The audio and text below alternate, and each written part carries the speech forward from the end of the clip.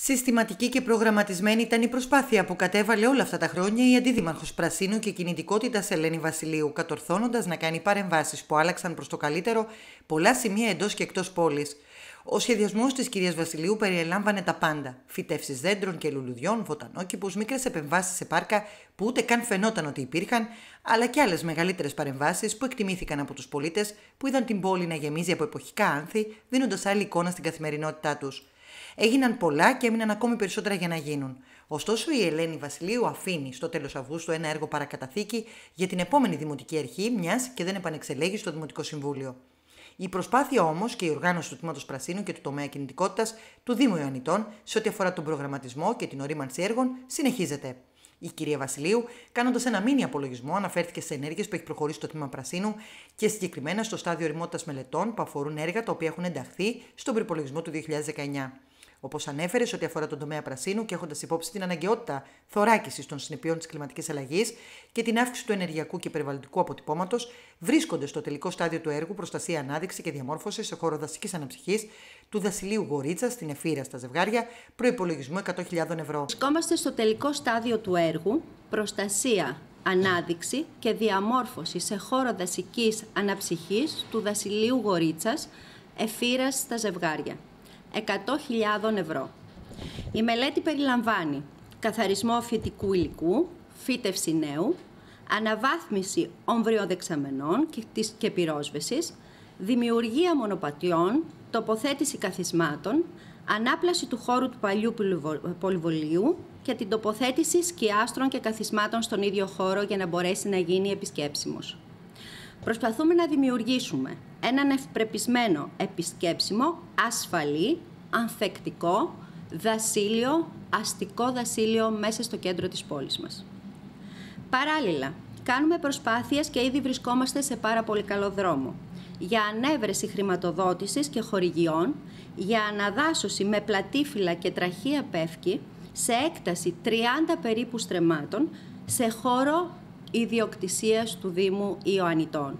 Είναι το ίδιο δάσος, το οποίο είναι πάρα πολλά στρέμματα και αυτή τη στιγμή πάμε να παρέμβουμε σε 70 στρέμματα. Ετοιμάζουμε τη μελέτη προμήθειας αστικών αντικειμένων που περιλαμβάνει τραπεζοκαθίσματα, παγκάκια με ιδιαίτερα χαρακτηριστικά πάντα και πινακίδες για να τοποθετηθούν σε κοινόχρηστους πράσινους χώρους. Στον τομέα κινητικότητας. Έχουμε αποστείλει στα αρμόδια Υπουργεία για εγκρίσεις και γνωμοδοτήσεις βάσει νομοθετικού πλαισίου το σχέδιο βιώσιμης αστικής κινητικότητας του Δήμου Ιωαννητών. Αναμένουμε εξελίξεις γιατί δεν γνωρίζουμε αν θα αλλάξει αυτό το νομοθετικό πλαίσιο από τη νέα κυβέρνηση για να μπορέσει να έρθει στο Δημοτικό Συμβούλιο και να γίνει η τελική παραλαβή του. Έχουμε ολοκληρώσει μελέτη ύψους 150.000 ευρώ με τίτλο έργου βελτίωση προσβασιμότητας για ευάλωτες κοινωνικές ομάδες και αφορά στην ανάπλαση του κοινόχρηστου χώρου μπροστά από το συγκρότημα της Ακαδημίας, τα σχολικά συγκροτήματα που βρίσκονται στο χώρο της Ακαδημίας και περιλαμβάνουν την ανάπλαση και επέκταση των πεζοδρομίων, προσβασιμότητα, τοποθέτηση κατάλληλης, οριζόντιας και κάθετης σήμανσης με τοποθέτηση θερμοπλαστικών υλικών στις διαβάσεις. Προσπαθούμε δηλαδή να δημιουργήσουμε τις συνθήκες όπως πρέπει να είναι γύρω από ένα σχολικό συγκρότημα για την ασφάλεια των μαθητών. Καθώς επίσης τοποθετούμε αστικά αντικείμενα και πράσινο επί των πεζοδρομίων. Δοθή της ευκαιρίας, η κυρία Βασιλείου ρωτήθηκε για τις σκοπές των χορταριών, ξεκαθαρίζοντας ότι όποιες σκοπές πλην αυτών που αφορούν σε πάρκα, σχολεία αλλά και άλλες καθορισμένες εκτάσεις είναι αρμοδιότητα της πολιτικής προστασίας, καλώντας τους πολίτες να απευθύνονται στο αρμόδιο τμήμα που δεν είναι πάντως ο τομέας του πρασίνου. Ε, υπάρχει μια στρέβλωση και στην κοινωνία, αλλά και γενικότερα σε ό,τι αφορά το τμήμα πρασίνου. Το τμήμα πρασίνου του Δήμου Ιωαννητών κάνει ευπρεπισμό σε κοινόχρηστους χώρους, σε σχολικά συγκροτήματα, σε διαμορφωμένες πλατείες και δεν είναι πολιτική προστασία.